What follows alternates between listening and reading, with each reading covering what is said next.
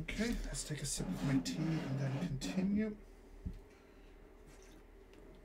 All right, so what we got on a linear equation here? Let's multiply this out. 4 times 2, so that's 8x minus 20 minus 1 equals 3x plus 7. Uh, bringing the x's to the left, 8x minus 3x is 5x. Bringing the constants to the right, that's 7 plus 20 plus 1. That's um, 28.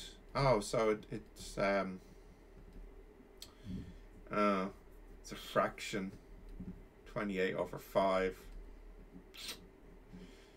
Oh well, sometimes it's a fraction. Let me check the answer, confirm it's right. 2 times that. Hang on.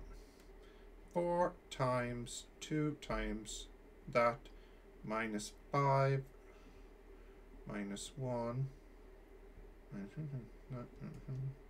Yeah, no, that's right. It is a fraction. That's the way it goes sometimes.